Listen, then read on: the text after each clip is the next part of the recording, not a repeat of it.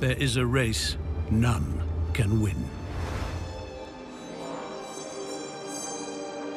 No matter your skill or execution,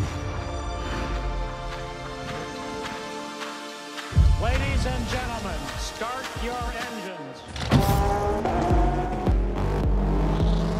no matter how hard you try. But if instead of looking to win, approach it differently. If you control everything you can, while accepting anything you can't.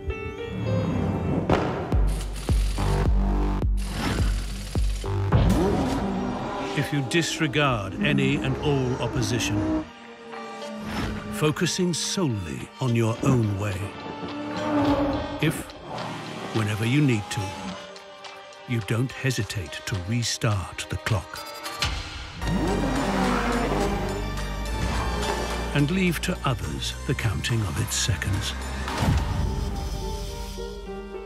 You may come to realize that, actually, it never was a race to begin with. And if it isn't a race, then you have nothing to lose and everything to gain. The Cosmograph Daytona.